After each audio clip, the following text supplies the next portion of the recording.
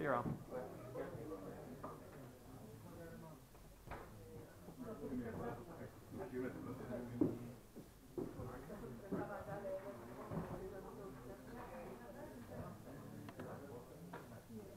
Okay, so um, it's really a great pleasure, and uh, I apologize first of all for there was a problem with the uh, auditorium, um, but uh, uh, to introduce uh, Ken Hartman and Avram Hermon, uh, who both work for ENTIS, which is a, a, a, patent office. Um, I actually met Avram uh, a number of years ago when I was recruited to Teva to the patent department, and Avram was, uh, among other things, responsible for teaching the course in patent law, and it really opened up my eyes uh, in that whole, a whole world that, that is very different than the scientific world that we, we know as far as publishing papers. And Avram actually led, uh, or was one of the leaders of the innovative section of the patent department at Teva, and uh, recently not so recently, maybe you moved, moved to Entis? Five years. Five years. Time flies.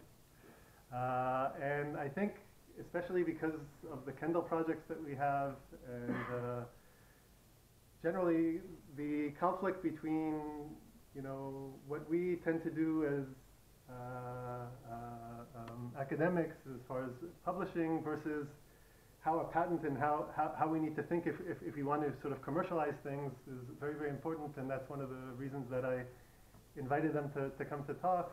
Um, and how the lecture is going to be divided is that the first part will be more of an introduction, which Ken will be giving, um, they're very interested in getting questions and even, you know, real, real world examples.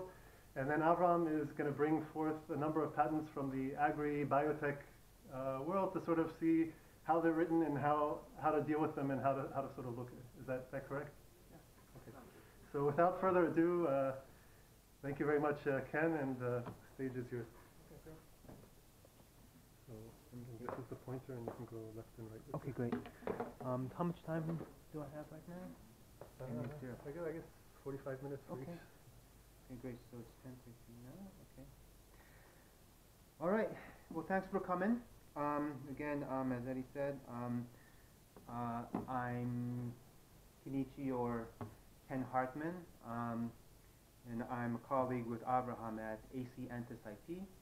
Um, we are Misrad Ochei Patentim. Um, we we specialize in in drafting patent applications, uh, filing them worldwide, and getting them allowed so that we can get uh, exercisable patents that will protect your invention.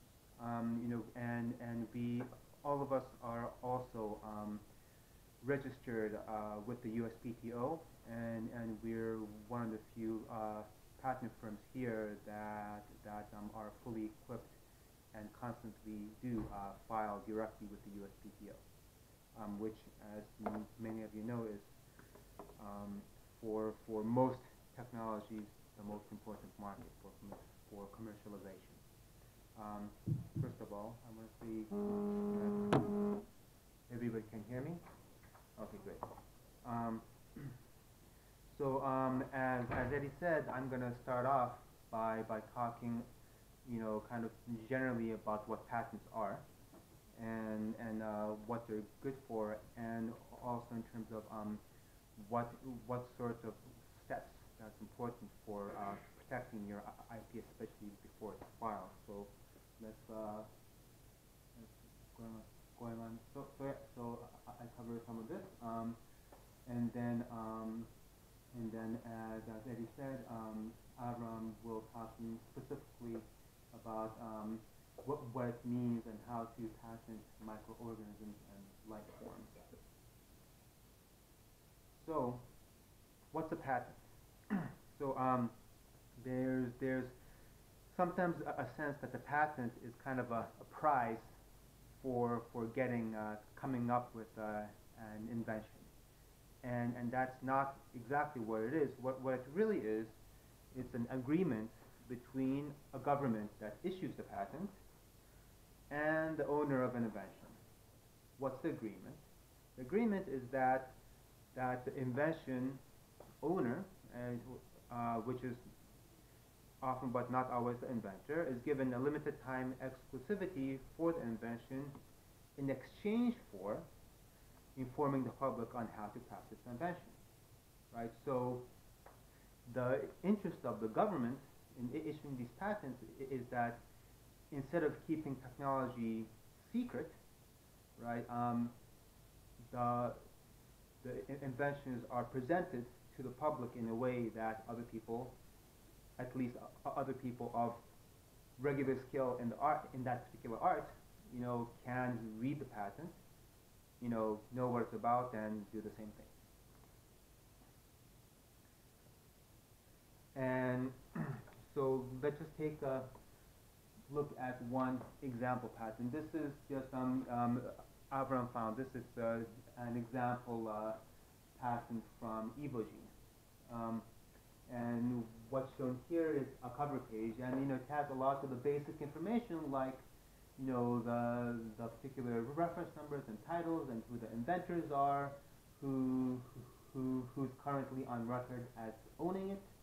Um, and then the most important part, which is all the way at the end of the document usually, are the claims, right? And the claims um, define what you own, right? Because this is intellectual property, and property is property, something that you own, and then just like real estate, right? Um, and and the, it's the claims, and just like these define what you own, and in real estate, the claims, you know, define what it is, what is the invention that's actually being represented by this patent, right? So, for example, this is claim one of this particular application, and and it's a, it's a, a bit wordy, but it's it's it's a method. It- uh, it's a- a method, and it's and and what it is, it, it comprises expressing within the plant an exogenous polynucleotide defined by this particular sequence that's listed somewhere else in the application, right? So thereby increasing things such as yield and and uh, other such stuff. So the idea is, well, you can look up what, what the sequence is. A regular agricultural uh, biologist knows how to introduce these this this particular gene sequence in a plant, right? So voila, that's a, a- an invention uh, that can be practiced by others. And then there's the whole rest of the document, you know, called the description, where you you, actually write examples on how this was done. So once you have it, you know, so once you draft application, you file it, you know, the examiner will ask you a bunch of questions about it. We'll probably start off saying no, you can't get a patent, and then, you know, Abraham and I will say, yes, you can, right? And then they say, yes, I will get a patent, right? So what can we do with it, right? So the main, kind of the classic way, you know, that patent service uses, well, because it's your invention and the government granted you exclusivity, right? You can tell others to stop using, selling, or making that invention, right? Um, or you can, um, you know, once once a patent is in place, you know, you can, if, even before they start, right? You know, they'll see that you own the patent, they'll, they'll and they'll think twice about going into this area, right? But the other side is you can say, well, you can use my invention, but you have to pay me money to use it, and that's through licensing, right? Or you say, you know what, I'm I'm really not you know interested in doing anything more with this patent, but it's still a piece of property. It's worth something to other people. Let's say another company is interested in you know either commercializing it themselves or making money by licensing it to other people. I'm going to sell it to them, right? And you can do either way. Um, I- think generally universities, you know, that are are in the business of licensing rather than selling it outright. it also helps you defend yourself against patent, other patent holders, but in an indirect way, right? Because one of the things about patents is you can use it to prevent other people from practicing your invention, but sometimes, you know, there by practicing your own inventions, you might be stepping on other people's inventions as well, right? And and and your patent doesn't directly help you, but what you can sometimes do is use the patent defensively, you know, meaning well, if somebody sends you an angry letter saying, hey, you are stepping on my patent and you have to pay me money, right? You say, well, I have this other patent that's also valuable, and you know, and that you might be practicing also or thinking about it. Why, why, do, why don't we do a deal, right? And you do things like cross licensing, where you say, well, you let me use your license, you let me use your patent, and I'll let you use mine, right? You know, so so so sometimes you know even many companies, you know, um, even if they're they're not really planning to, you know, make money by suing other people, you know, they will still build up a patent portfolio, you know, so that when other people come knocking and say, you know, enforcing their own patents, you have your own portfolio, so that you can deal with them from a position of strength. and I- I think more in the short term, you know, for for people in your position, you know, what how patents are used is that they're used as a stepping stone, right, to towards beginning beginning uh, commercialization, you know, through through through the technology transfer office and such, and and in, especially in the biological field, um, having at least a patent application in place is often an imperative right? That that investors will simply not look at in, in, in investing in a biological technology um, unless there's at least a patent application in place. now, so what do you what do you need? Oh, by the way, um, um, if you have any questions along the way, you know, um, raise your hands and ask. I mean, like, you know, if it's something that I, I can ask, answer now, I'll answer now. If I think it'll be more helpful later, I'll, I'll let you know. But either way, feel free to ask at any point along the way. Um, so, so let's let's let's back up a little bit. You know, we just talked about you know what you can do once you get a patent. But let's talk a little bit about what you need to get a patent, right? In the first place, right? So, so the strength of an application is judged on on on three main elements. Um, is that your what you consider to be the invention must be novel, it must be non-obvious, and it must be useful, right? And I'll go into a, a little bit about what, what those terms mean. And the other uh, point that's important is that in the application, right, um, aside from the claims, you have to write a summary and a detailed description of what the invention is and how you do it. Right? The invention must be sufficiently sufficiently described so that it can be practiced by others. And that's called enabling dis- disclosure. Right? That the disclosure enables another person of ordinary skill in the art to practice it. so let's let's um, take a first look at novelty, right? So novelty means it's new. Means no one else has thought of it before. And in the law, you know, they tell you how we determine how something is novel, right?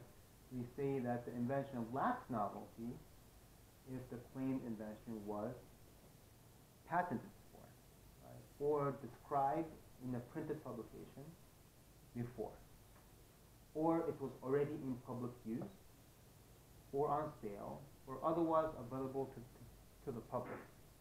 And this this really goes to the heart of you know what I spoke before about the point of a patent, right?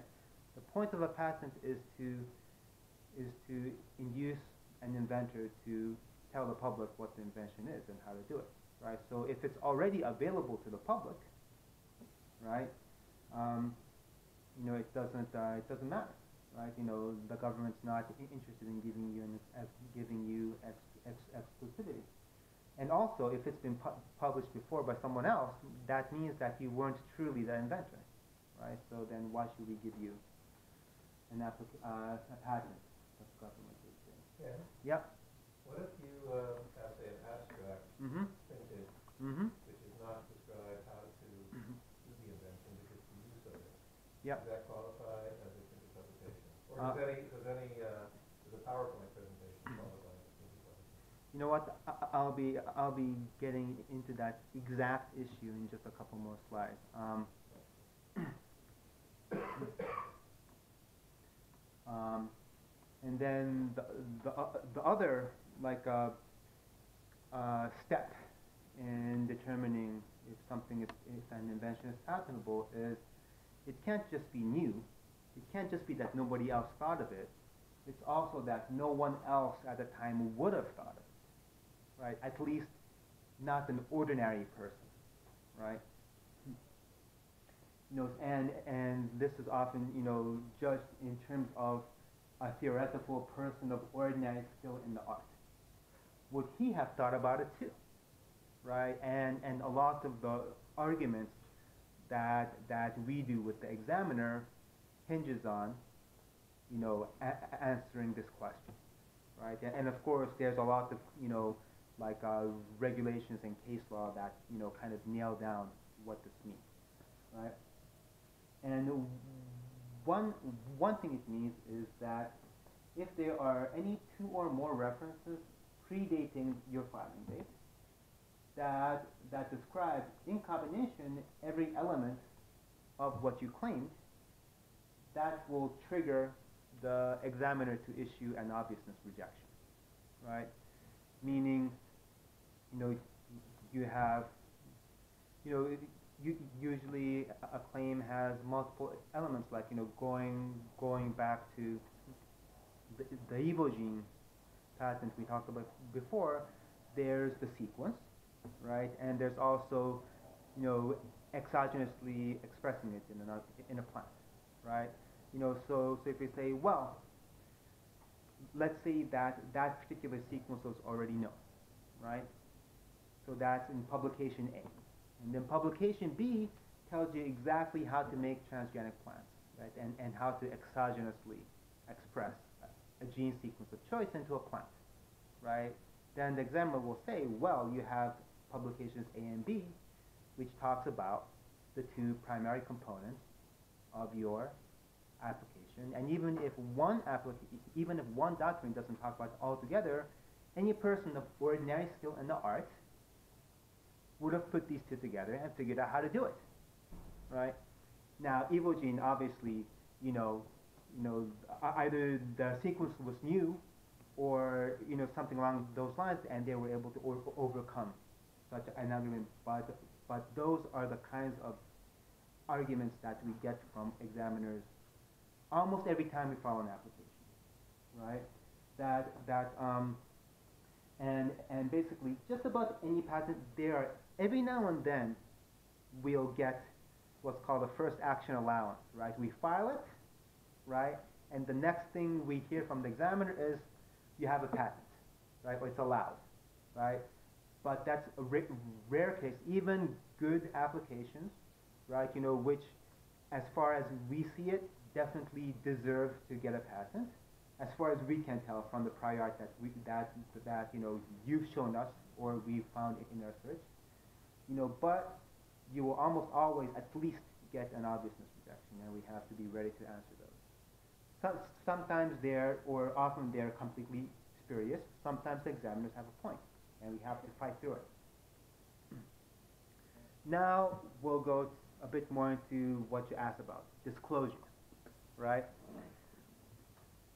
As I said, as I said, right, the, the whole point of a patent is to induce you to disclose, right? So if you give away your idea for free already, the government will say, Kokabod, you're a great guy, you know, and you help spread knowledge, um, and you know, you're helping the the world move forward. but you don't deserve a patent because you already donated your idea. Right? And and so one one kind of uh, you know uh,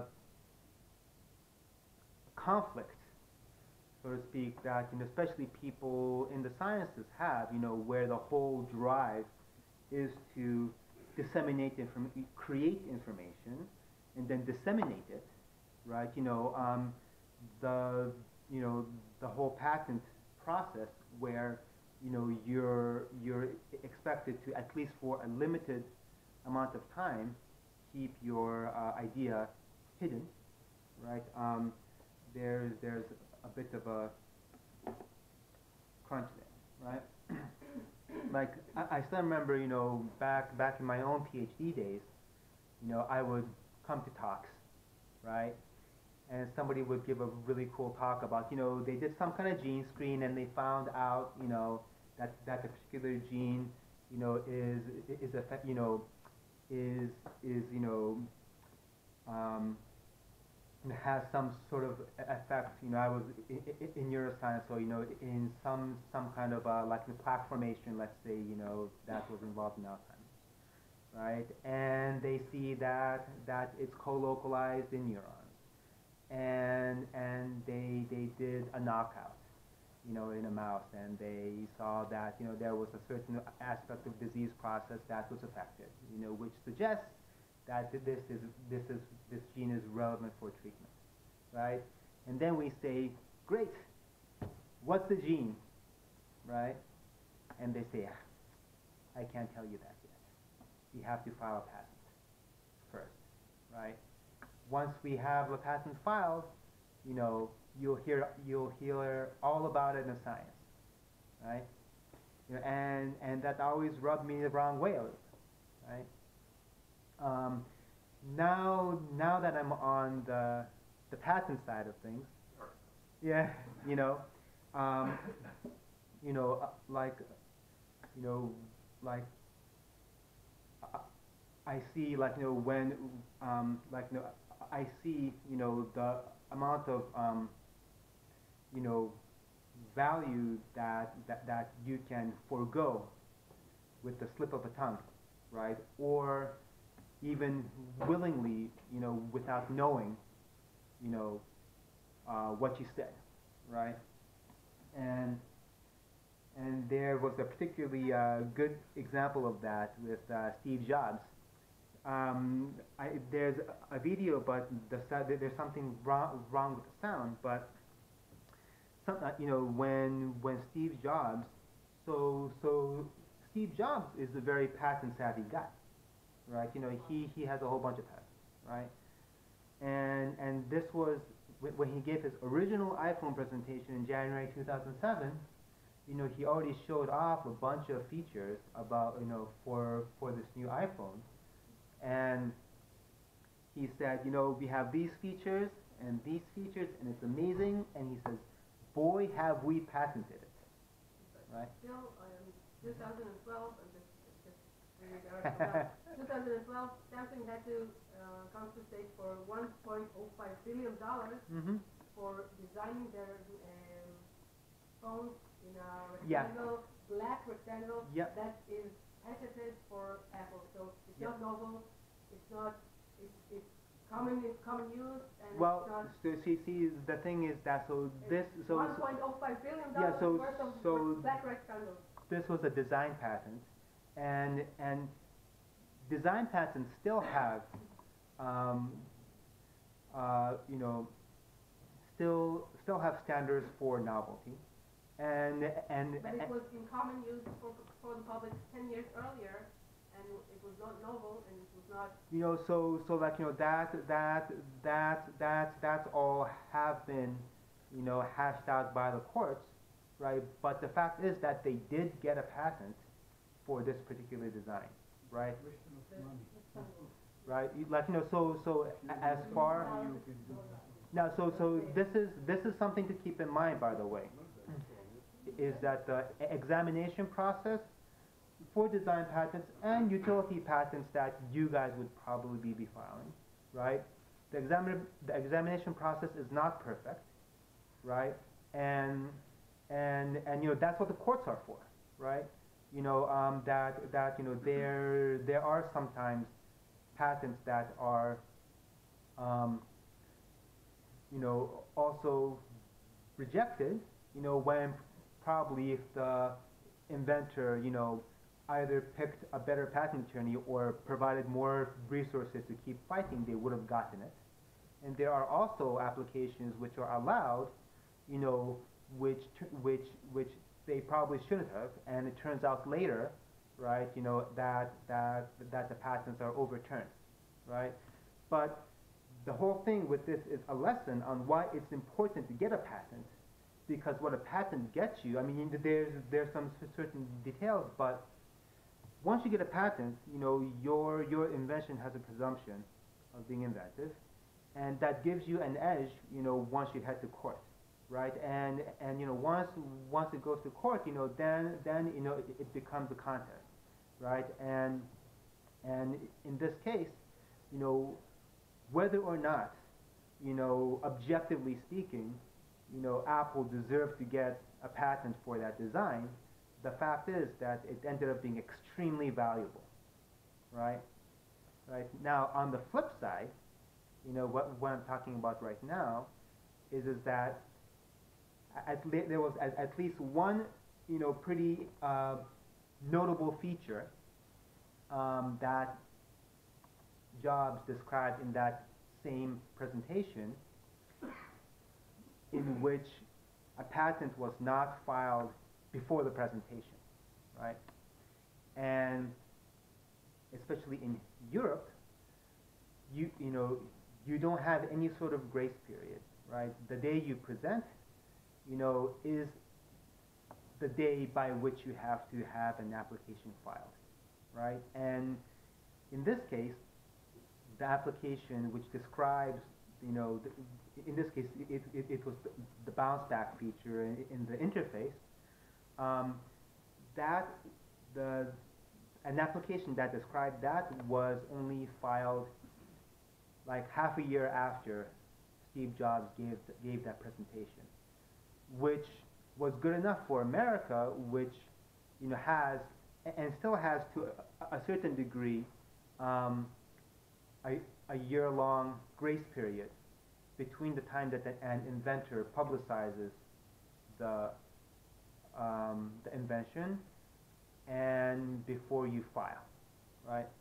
Um, but in, in Europe, there, there there is no uh, grace period. So so for the bounce back patent, um, the, the, a German court, you know, there was uh, Samsung v. Apple in Germany, and in this case, Apple lost because Steve Jobs said something he shouldn't have at the time. Right? He made a presentation. You know, th- th- there was a whole bunch of information to give over. He knew about patents, but he didn't realize that this particular feature he should not have talked about. Right? If he had waited half a year, he would have been fine in Europe. You know, but he spoke about it, and although the design patent has done very well for Apple, this this other patent, which described the bounce back feature, did not fare as well in Europe.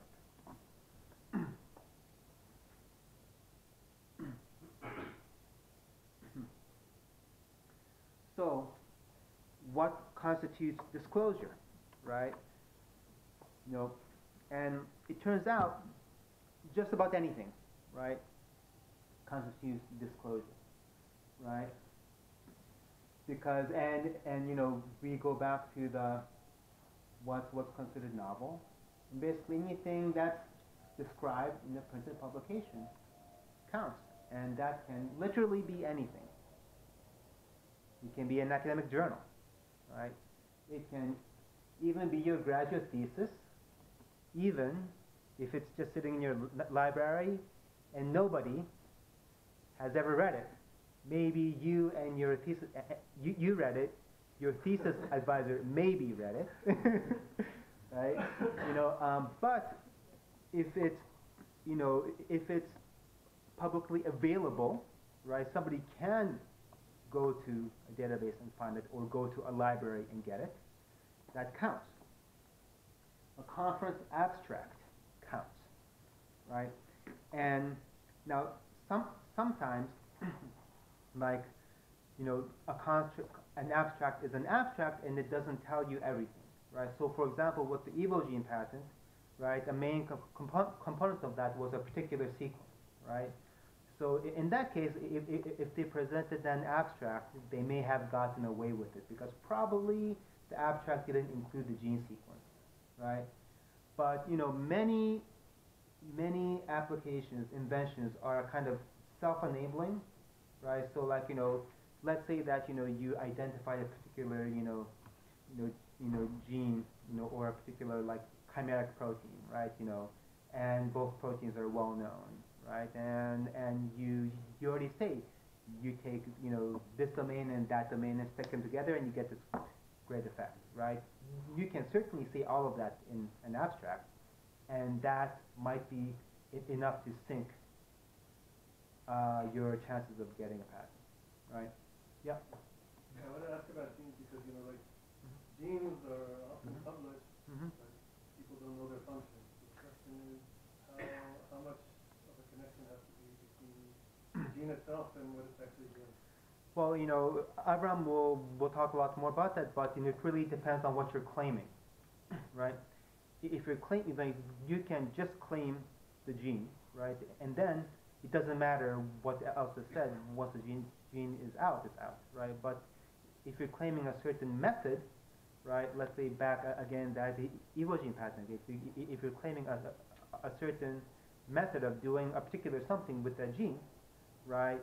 Then it's it's possible that you know um, it- like it depends on how how well known that you know gene was but in this case the function wasn't known you know so you you might be able to get away with claiming a method you know of doing something you know to have some, some effect with the gene even if the gene itself the sequence was already published right you know but but but you know that's that that you know really starts to de- depend on the details of you know what's what's known exactly and what exactly is claimed, right? Um, you know, and and I have certainly um, I remember one um, when I was still back in New York. I, I I remember I, I was working on a particular case um, in which there was a conference a- a- abstract, which was like four sentences but it was the best written abstract we have ever read. It completely described what the invention was, and you know we you know all of us at, you know at at at the firm was all shaking our heads. You know, like the one time that you write an amazing abstract is the one time that it kills your application. Um, so, so, um, and also other things like blog posts, YouTube videos, social media, these all count. And I was uh, working on, on an application in which, you know, um, I really got a fright because, you know, none, you know, none of the things have been published yet, but, you know, I was looking around online and, and I found out that one of the grad students in the lab decided to post a YouTube video showing the, the little technology that they were developing. And I was like, what do you do? Right? You know, it's not like he- was getting a, a paper out of it. It was just a video. Right? In this case, we were lucky because, you know, it, it was a particular gadget and, you know, it, it was from a pretty um, far, you know, far, far away. So the details of what made that gadget special, right, which, which was what we claimed, right, was not described in it, right? But, but the, you know, you know, so we, we, we left out there, right? But, but, you know, if the video had shown, you know, a, a, a, a- a closer zoom view, you know, which revealed how the thing worked, then I would have had to have an uncomfortable conversation with the client. Yep. What about the case that the contents abstract Mhm. doesn't mention the essence of the patent, but then you are on stage Mm-hmm. and you say something, Mm-hmm. either as part of the lecture or as kind of answer to a question. And So- then So it, it becomes more of a gray area, you know, that, um, you know, it becomes, it becomes more of a gray area, right? And, and, and so it might not, you know, be counted as a publication because it wasn't in published form at the time. But, um, these days, you know, in the most recent version of, of the law describing novelty, right? It says, uh, anything that's otherwise available to the public, right? And this, this has yet to be tested so uh, extensively in the courts because it's a relatively new provision, but, you know, it, it would be smart, e- even if it's in a presentation where nobody you know is taking notes and there's no slides, no, no nothing, it would still be best, you know, to not uh, say it because of this new clause of otherwise available to the public. Um, you know, because, and I'm, I'm glad you asked this question because one of the things I want to talk about was, but Steve's gave an oral presentation, right? So how is that a publication? So that's, that's, that's your main answer. The other answer is that, well, a video of the presentation counts as a publication, right? And in fact, um, you know, if someone took notes and decided to, you know, post a blog post about what you said, that would also count as a publication. And even now, even in the States, which has uh, um, a one-year grace period, you know, it, it's actually not completely clear as the law currently stands what that grace period protects. It, it, it, seems like it will protect, you know, what your, yourself against what you say, but if someone else says it, right, publicly, that might be enough to to sink your your application even in the state, right? So so um so that's an, another uh, important point to consider. Yep. Um, just one quick question. Uh, what if someone hypothesizes Mm-hmm. uh, something that afterwards proven from somewhere, as it happens with the Higgs? Mm-hmm. So hypothesis from Mr. Higgs, and then after several years was proven and discovered that it from others. So so um there's there's there's room to work with on that. You know because like for example you know you have science fiction novels talking about all sorts of technologies. Mm-hmm. you know but you know but like you know just because you know science fiction books talked about teleportation you know that can be used against you if you happen to invent teleportation right? So why? Because it's not enabled, right? And and also in this case, you know, you can use the fact that this was presented as a possible theory, right? And and a, and and something that's presented as a possible theory, you know, isn't enough to to to be um, an idea that that can sink your application, right? So so like you know, I've I've worked in know cases such as this where I remember I was working on on- on a particular um, method of treating dementia, which worked on a specific mechanism, and and the examiner you know brought you know a bunch of you know uh, like uh, review articles you know, you know, hypothesizing various ideas, you know, how how um, like pre-Alzheimer's um, dementia could be happening, right? And it was in terms of, well, there's this possible me- mechanism and there's that possible mechanism, and the mechanism that we were going after was one of those possible mechanisms. And and you know, the examiner used it against us. We were able to fight it. It was a bit of a slog, but what we said was, look, this is clearly in the form of of an untested hypothesis a number of years ago, and in this case, we even said, you know what?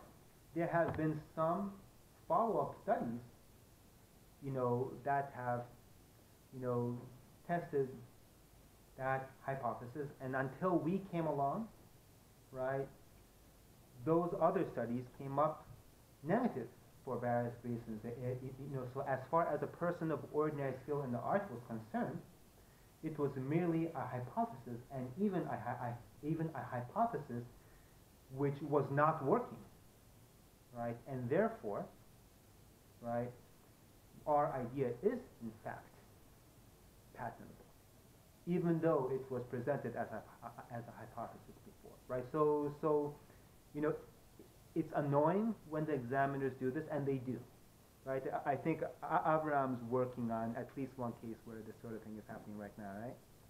Um, you know, but and you have to fight through it, but it's it's certainly beatable. Yeah. What happened with the uh, poster presentation from conference? Also, a poster presentation. A poster presentation. Yeah. Yeah, yeah. So, so I'm. Uh, I didn't touch on this, but, but, um, you know, generally, even, you know, some, even a, a poster that's only available for a, a, limited amount of time. You know, um, you know, there's, there's like, you know, cases, you know, trying to pin at how temporary is temporary, and you know, how long is long enough. You know, but, but generally speaking, like even a poster that's only up for a few hours can potentially uh, be considered to be um, uh, a publication for the purposes of, you know, becoming prior art. If you had a provisional posted, on the time that you, uh, you had the abstract or whatever you gave talk about, Yep. and the PCT was written only a year or two years later. Mm-hmm. So at the time you you gave your talk, it Mhm. was actually protected by the provisional, right? That's correct. Yeah. So, so you know, the pro- provisional application gives you the earliest pri- pri- priority date. But one thing, one important thing to keep in mind is that if you want to rely on the date that the provisional application was filed, the invention has to be properly described in the provisional application, right? You know, so let's say if something was added if something crucial was added, you know, at the PCT stage, right, and it was not in the provisional, right, then, you know, the examiner might look at what's, what was added between the provisional and, and the PCT and say, well, you know, what you're claiming was described in the PCT, but it was not described in the, in the provisional right? And this totally happens, and and it kind of points to um, a- an important practice point um, that that's not always um, appreciated, um, you know, outside of like day day to day patent practitioners, is that the provisional application has to be, you know, the the the standard for an enabling disclosure that you need to to get the patent is also holds when you file a provisional application. So we, we always tell the clients that as much as practic- practically possible, both in terms of time frame and cost, you know, the best thing to do is to file as complete an application as possible. And really, even if you're filing it as a provisional, you know, if it's written in a way that's essentially like a PCT, that's the best way to do it, right? You know, then, you know, based on limitations of cost and time, we can talk about, you know, what sort of minimal disclosure we need, right? You know, um, you know, but, but, um, but yeah, no, I, I, I'm actually glad you, you raised the point of the provisional because this is an important point. And, and the fact is that, you know, many, many of the provisional, which are simply like, like an, a conference abstract or like slides, you know, that's filed, end up not holding up, you know, when push comes to shove and, and it's examined separately from the subsequent PCT application. So, um, you know, one thing to consider is, well, you know, if there's limitations placed on what I can say before I file an application, what can I talk about, right? It turns out, you, you know, you, you have a little bit, of room, and one, one kind of trick, you know, is that you folk, when you, when you wanna talk about something you're working on, you know, let's say before it's published or before, you know, you file a publication, you can talk about uh, the problems it's solving and the impact it's gonna have, right? So let's go back to the Evogene, right? Again, this is a gene sequence, right, which can in- increase yield and reduce nitrogen dependence, right? So, especially outside of an academic form, right? You know, if you're giving like a paper talk, yeah, they're gonna know what the gene is and they'll be annoyed if you don't tell them. But you know what? Outside, you know, if you're talking to lay people, the last thing they care about is what that sequence is, right? What they care about is what problem is it solving and what, what is it good for. So it turns out that, you know, it's kind of counterintuitive for, for scientists, but usually by leaving the, the, the, the, the patentable core out, you actually end up giving a better presentation, right? Because what can we say? I can say, you know what? Farmers are always trying to increase cro- crop yield, right? It's, it's, uh, it's an ongoing problem. We're always striving to do better. And, you know, we, we've traditionally been do, do, doing that with fertilizers, but you know what? Fertilizers create a whole bunch of environmental problems, and it's simply an added cost, right? What can we do, right? I discovered a great way to increase yield by 10% and tolerance to nitrogen deficiency by 30%. I made up those numbers, you know, through exogenous gene expression. I take a gene, stick, into, stick it into a plant, and voila, it grows better with less fertilizer, right?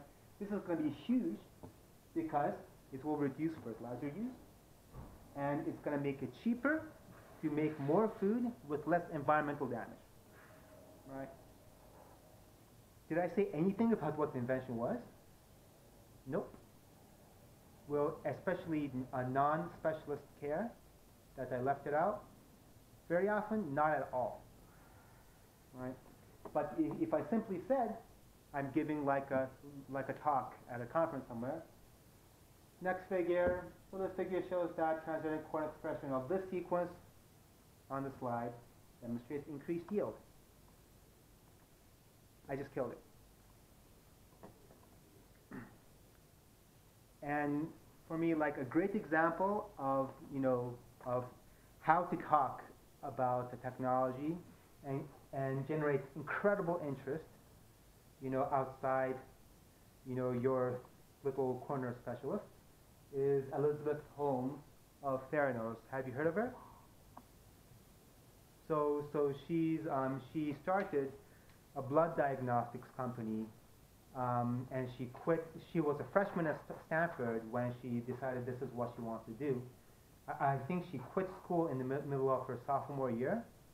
Um, I think about 10 years ago, and she's been working on this ev- ever since. And her company is now worth, um, I think, nine billion dollars, and she's raised $800 million. And she's given TED talks, and you know she's been in Forbes and a whole bunch of magazines. And if you li- listen to her, give any of her presentations, she always talks about the problems that she's solving and the impact that her solutions are going to have on those problems. And she never, not like Steve Jobs, and she's now getting a lot of flack for this, by the way, because it's been now 10 years and she hasn't talked about exactly what it is that she does, right? But until Wall Street Journal, you know, wrote a rather scathing article last year, so for almost 10 years, nobody cared that she wasn't giving away the technical details, right? Now, if you want, she has 30, three- 34 U.S. patents that that lists her as a, an inventor, you know, with Theranos as the owner. You can go through them to get at some of the technical details of the te- technology that Ther- that Theranos might be using. But at the end of the day, until you know, 10 years down the line, she raised 800 million dollars without saying a word about how all of this works. And you know, like um, you know, I think uh, definitely keep this in mind when you're talking, you know, especially to a lay audience, you know, even at the or even at uh, the Shabbat dinner table conversation. If somebody asks what you're doing, and he or she is not a scientist, talk about the problem you're solving and impact what your research might have. And and the other people at, at the table will not care at all that they, that you didn't explain exactly what you did. And that's it. Um, any any questions before uh, Abraham goes into the more uh, bio-specific? I just, I just want to say uh, that we instruct uh, researchers Mhm. in a more simplistic way, just Mhm. say what you can do, but Mhm. not how you do it. So Yeah, exactly. No, exactly. That's yeah. No, that's that's a, a, a good way to formulate it as well. Yeah, the, the the core thing you don't want to talk about is the how, Exactly. right? That's that's really what you want to stay away from. This is terrible. What? Why? You can't, you can't talk about anything. I mean, you sometimes you come to, to something new and Mhm. you don't realize that it's going to be anything in the future. Mm-hmm. And uh, actually, if you are patent oriented in, in, in a way, I mean, if, Mhm. even if you don't really know that you are patent oriented, Mhm. like in our case, in this Mm-hmm. institution, uh, Mhm. institute's case, so you are actually not allowed to talk about anything until uh, you patent uh, the issue. I mean, You should tell them, you have them. it shall not. No, like you know, yeah. No, you have to be judicious, and and I'm hoping that a, a part of you know what what I just talked about, you know, helps you think about, you know, you know, like like there there there is uh, you know, gradation between you know telling everybody everything and telling everybody nothing, right? You know, and That's exactly what yeah. she's doing. I mean, Yeah. how do you know that she's actually doing anything? You, you don't know. She Yeah. raised 800 million. And you dollars. and and here's the trick. Nobody cared. Right? Now hopefully when you go and present your technology, you do have something behind it. Right? But my point is that for that that that especially outside of academia, right? They gave her nine years before they started, you know, giving flack, right? So, so you, you know, you have a lot of leeway, right? And I'm telling you, like it, it, it, it also not, not like by not talking about the how, right? Not only will it protect your IP better, but it will also, you know, help you give a better presentation for most audience. But, okay, so most of the people here, though, the people that they will be talking to, uh, are, are scientific audience. And look, I understand. And look, you know, I remember being in the audience, right, of scientific talks where they didn't, you know, give away the, partic- the, the exactly the how because they were still, you know, waiting for the patent to be filed, and it did annoy me a little bit, right? You know, so, but that's okay, right? Like you know, but but because you know it, it might rub people the wr- wrong way, but you know what?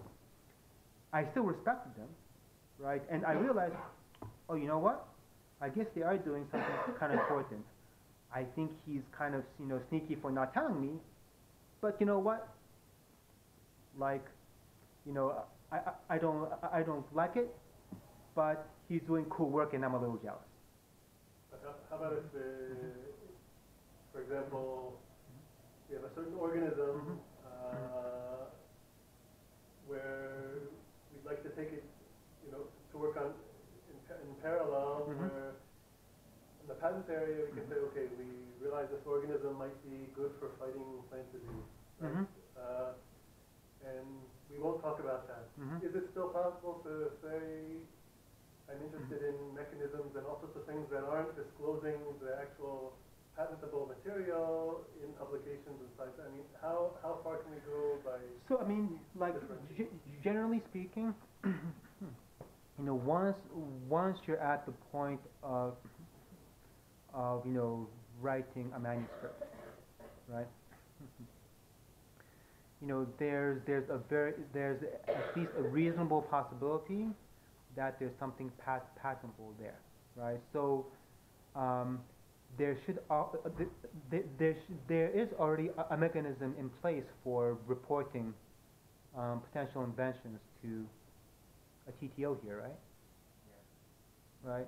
So so you know I think like you know the best thing to do is you know once once you're getting slides, you know once you're getting data, and once you're getting some some kernel of a story together, right? You know you know draft up an investment report and and get the ball rolling at the TTO.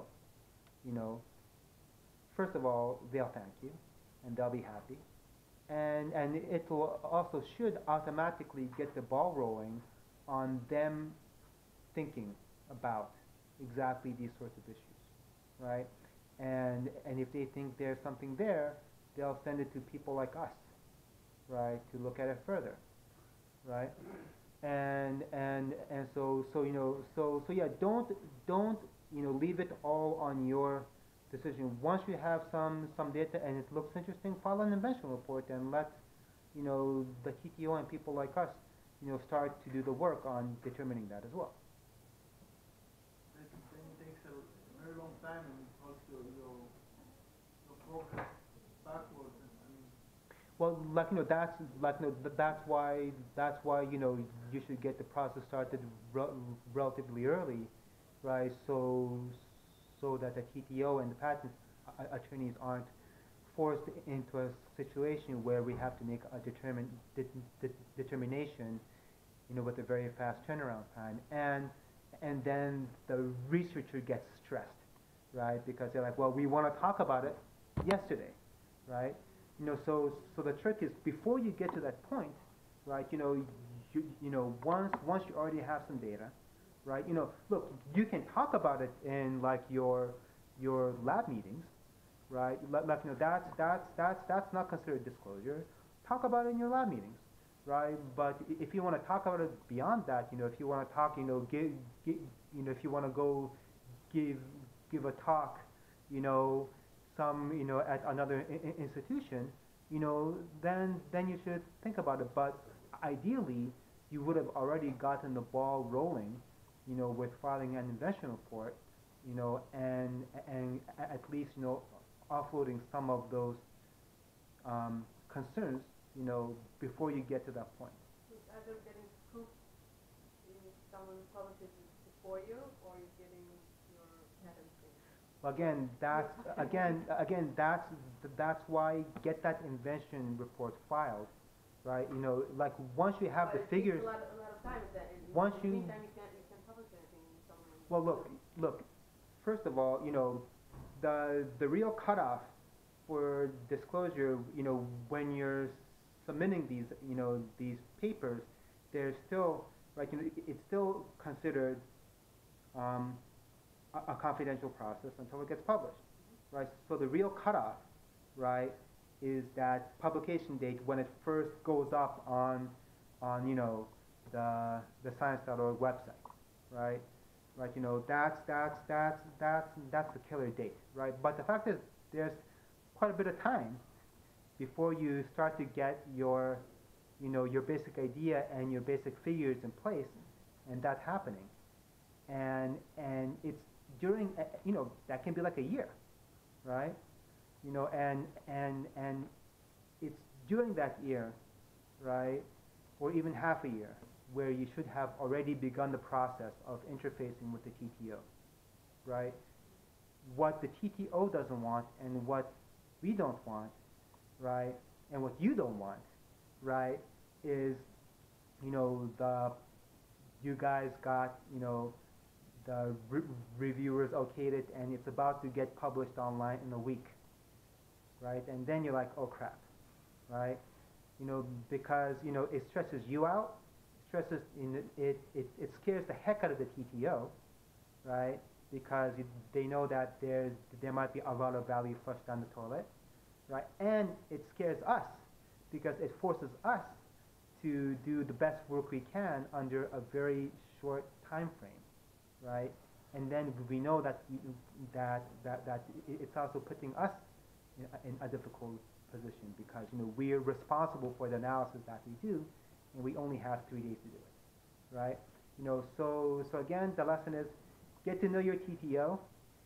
You know, get to know your licensing officer, become friends with them, and keep an open line keep an, an open line of communication with them. We'll take just five minutes break, okay, because, uh, we want to continue afterwards, so really, we can be back by